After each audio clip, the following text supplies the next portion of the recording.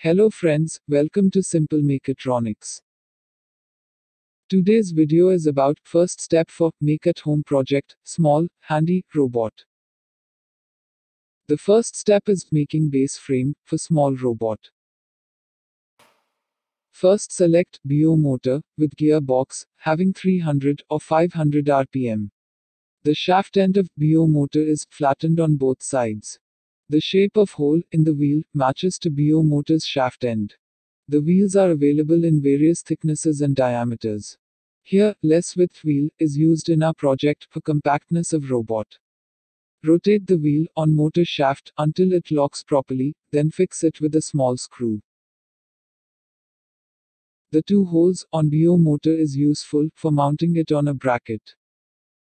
Select proper bracket with matching holes for mounting the BO motor. Select a chassis to hold all the components, including motor with bracket. The holes on the chassis shall match the holes on the bracket for easy assembling. A caster wheel is required in our project and positioned suitably. Any one type of caster wheel may be selected for our project. Holes on chassis shall be matched to the holes on caster. The small robot uses hardware, control, and inputs, as shown here.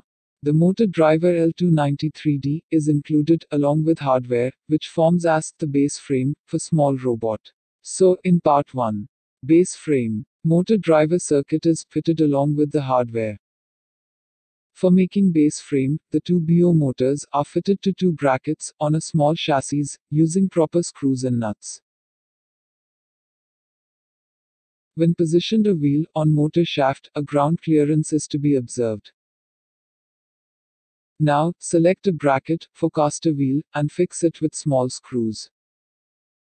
Now, position the bracket on free end of chassis, then, match the holes for fixing it.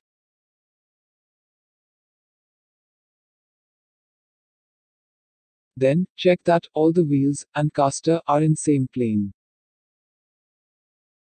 This is the overall circuit diagram for small robot. The top part of the circuit is assembled on a PCB and fitted above the chassis. The motors and battery are fitted below the chassis.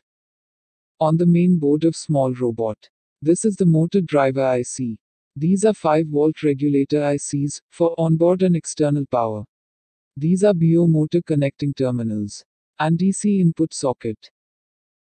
Now plan required holes for fixing the main board on chassis. Then assemble the caster bracket and provide screws for main board. Then fix the wheels on the motor shafts on either side. Then lock them using the small screws.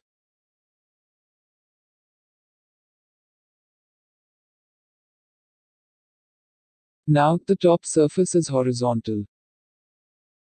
Use a good insulation sheet before fixing the main board on the chassis. Then place the main board carefully on the chassis and lock it using nuts.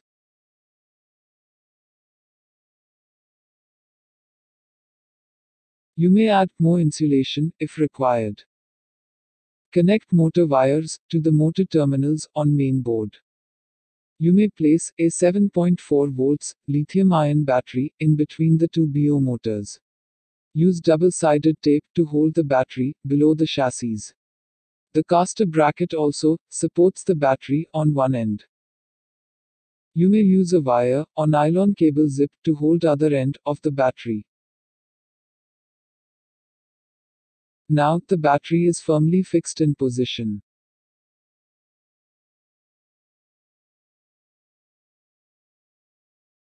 Now, connect the battery connector to the main board. You may observe the power LED indicator glowing. The 5 volts and other voltages are checked at 6 pin connector. These are the 4-bit codes used for motor rotation control available at 6-pin connector. Now test the direction of rotation of wheels by connecting 5 volts to each pin, 4 out of 6 pins in the connector. Note the rotation direction as per forward and reverse codes. Then reverse the motor connections if required. Then, confirm the direction of rotation after updating the motor connections.